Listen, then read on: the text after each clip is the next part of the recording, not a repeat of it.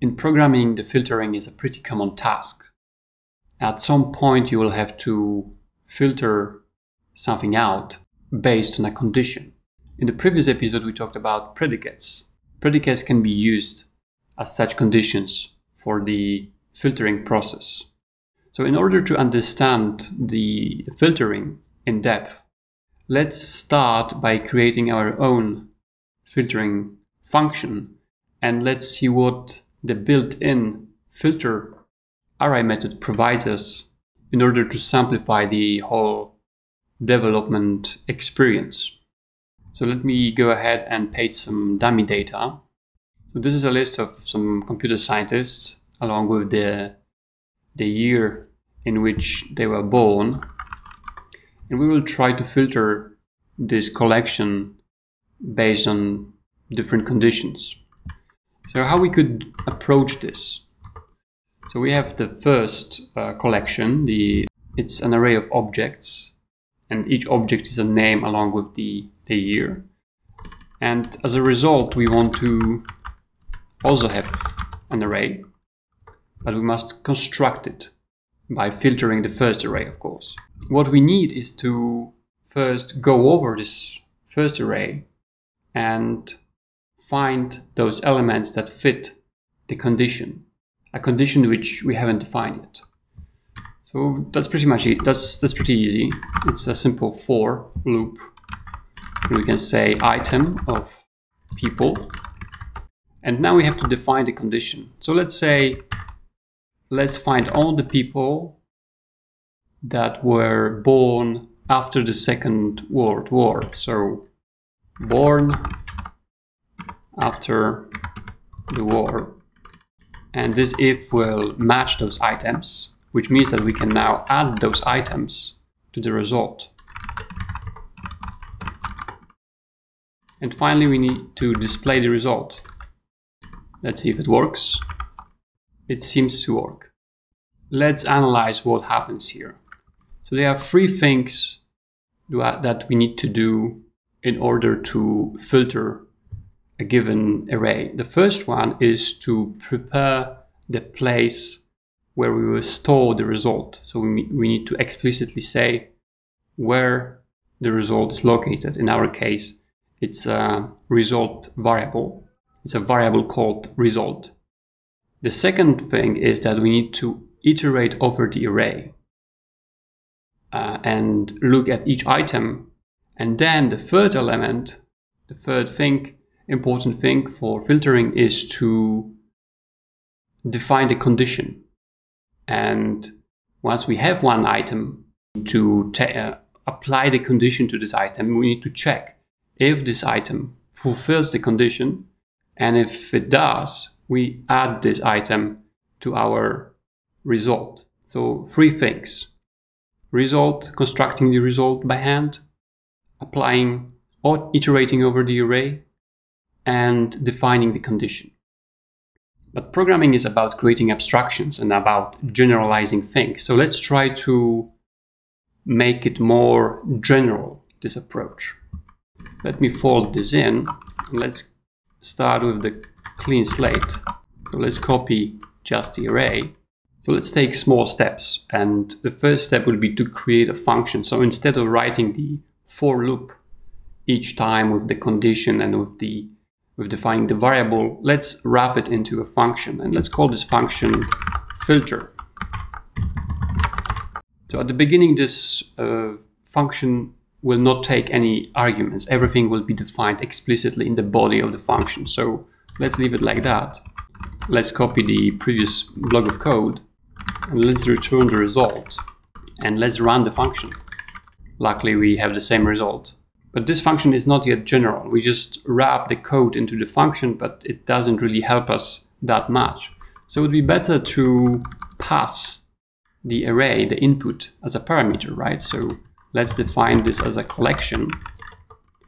And here we will go over that collection, which is now general. We don't really know what's in that collection, or we don't want to know what's in that collection. We just want to get we just want to be sure that this is a collection that we can iterate over. And This means that when we run this function, so let's extract this here to a variable, and here will, will be just printing it. So it means that now we have to pass the actual data, which is people, the, the variable people which we defined at the beginning. So now if we run it, we should get the same result. But the problem is that we have now the condition which is connected or related to the people array. Because when we take the item into our hand, let's say, uh, we are extracting the born field from it. And this only exists. And this born field may exist on some collections, but some other may not. So this is tightly related to the people. We have to generalize it as well. And we say that this line over here is coupled with the collection we are iterating over. So what we can do is that we could extract the condition as well, right? So this if, we can just put it as a parameter. And because we say it's a, it's a condition, this is, this is a predicate. Because everything that it's in as a parameter to if must return true or false. So we can just get rid of this whole specific thing and just say predicate. This predicate must know what is the input on which item it should uh, act upon. So we just need to pass it the item. So now we know that the predicate is a function that's being passed. So we transform our filter function, normal function, let's say, into a higher order function because now it takes a predicate, which means it takes a function and a collection. Now it's pretty general and we can now define our predicate here and let's say born after the war, the second war, P for the predicate, and let's define it. So as before, it's item and we are extracting the born field. We are defining after the war date and we will pass this as the parameter to our own filter function. And let's see if it works. It seems to work. So let's change the dates. So 55, it works. So now the filter is pretty general. And we don't have to, whenever we want to filter something, we don't have to bother with constructing the result. We don't have to bother with iterating over uh, a given collection. And we don't have to bother with defining how the condition is applied to each item because this is extracted and it's passed to this filter function from outside. Because the operation of filtering is so common, filter is part of the language, of the JavaScript language. And it's defined, this function which we build over here. The function we defined here is defined as a method on the array object. So it means that instead of so instead of passing both the predicate and the array and, the, and a collection to it, we can just take the collection or we want to work on and we can execute the filter method directly on it. So we can just say filter and we can pass just the predicate, the condition, which will define how to, which items should be filtered. And if we run this, so let's do it as a R2 and let's run it, we still have the same result. So let's change the predicate and now it's longer or shorter depending on, on the condition. So let's make some notes now. So the first note would be to say that the filter method in JavaScript is used to extract elements based on a condition which is provided as a predicate, as input for to this uh, function.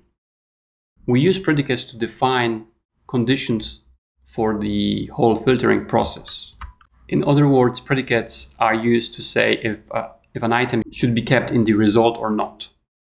As we said at the beginning, filtering is a very common, it's a very common thing in programming. And instead of doing it by hand, so whenever you find that you are iterating and then doing some ifs on each item, it means that maybe you should do it using the filter method from the array object. That's all for today. See you next time.